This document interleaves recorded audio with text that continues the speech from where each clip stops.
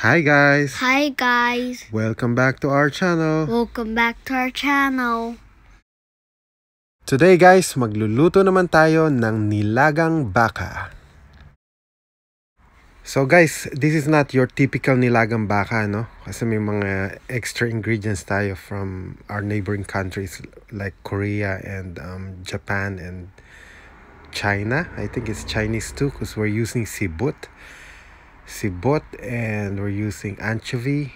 Yeah, it's surprising, but this is, you know guys, typically in Korean and Japanese broth, they use um, for umami they use dried shrimp or dry, dried um, anchovies for their broth. So we're gonna be making this um, nilagang baka extra special today. So guys let's start with our meat now let's cut our meat bigger than the usual we're gonna be boiling this for a long time. And guys I have one piece of tendon and two pieces of shank. They both comes from the leg. I think we don't have the actual bulalo but I have the knuckles. And they call it um, um, knees but they are knuckles and they have a lot of um, cartilage. I'm gonna wash them. I already washed them but I'm washing them again because I don't want too much scum on my broth so we want the water as clear as possible before we put them in the on the flame. So cover them with water extra water. Don't worry this is going to be tasty because of all the aromatics and the herbs that we're going to put later on. So onto your stove medium high heat five to seven minutes we're to go back and check them out. So guys this is what i'm talking about. This is dried anchovy in japan and in korea and i think in china too they use dried fish or dried um, small shrimps to make their broth more flavorful. It doesn't at all make your broth fishy. It just gives them so much flavor. You don't need msg anymore if you use these. And if you have kelp or the thick dried um, seaweed you boil them together. You could use this broth for your ramen yes that's how you make your ramen broth with these um, ingredients. So guys i'm taking away the innards those um hard bones because you don't want them in the in your soup later. So we're gonna check out our meat and see all those scums floating. We're gonna take it away as much as possible. We're not gonna be able to take them all but as we steer it as we boil it there's gonna be a lot more coming out take them as much as possible because if you don't take these out you're gonna end up with cloudy and not so pleasant.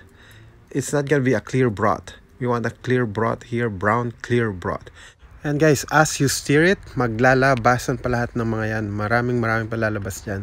So guys scoop them out as much as you can. We're gonna wait until it roll boils and makes it clear without the scam.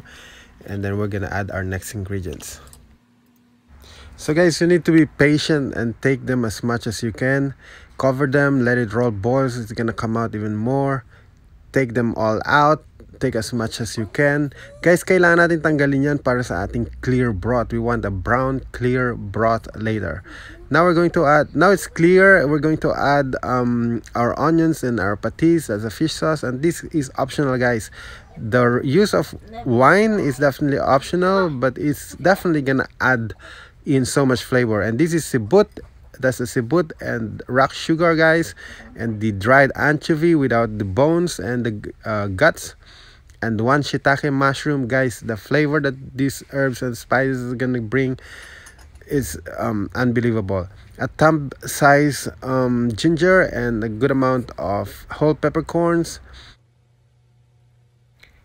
A teaspoon of salt give it a quick stir put your lid on and guys we're gonna be simmering this for a very long time guys two to three hours. Please guys do not use your pressure cooker on this one because your aromatics and your herbs guys it doesn't develop on your pressure cooker. The flavor doesn't develop on your pressure cooker. So check your meat after two hours. It should be like this. Sometimes you need more time. And guys we used several kinds of meats here. So not all of them um, tenderize at the same time. So check them one by one. These are definitely good. So we're gonna scoop them out. And i'm going to scoop out the one with the bones first i'm gonna leave the meat out there because i want the bony part on the bottom of my dish and not the um, meat because I don't want to crush them. So these are all good. We're going to um, scoop them out. Then we're gonna go on the next step. So guys, just look how good looking your meats are. Look how tender they are. They still have a bite on it. It's not that they're gonna melt and not be able to chew on them. I don't like that. Look at your tendon. It's almost like a jelly but still have a chew on it still have a bite on it. So prepare your calamansi and patis guys and a lot of rice because it's gonna be so good. Next step is we're going to strain it a little bit to take the bits and pieces that we don't want. Strain as you can. It doesn't have to be perfect. Guys you just want most of it um, out those bits and pieces. Just run your scoop run your strainer in it. And then guys just take most of it and then we're gonna go on to our next ingredients.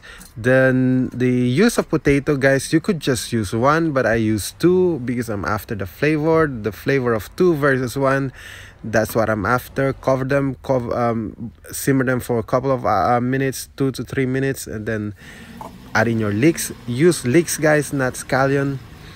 It has a lot more flavor than scallion and then put in your um, corn couple minutes. It doesn't take too long to cook them and then you're going to add in your bananas and then your cabbage.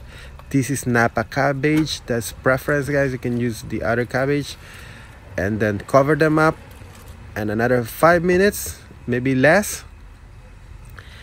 You should be done.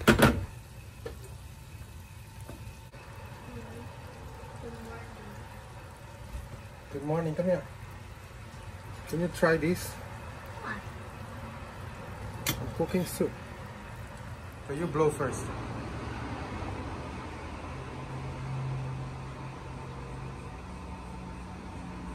It's not hot.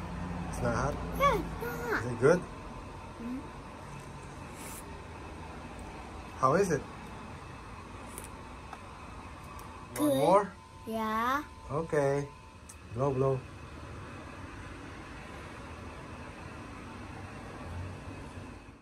And there you have it, guys. I hope you liked it. I hope you will try it. And I hope you will join me again next time. Thank you very much for um, joining me today. Please like and subscribe. Guys, enjoy.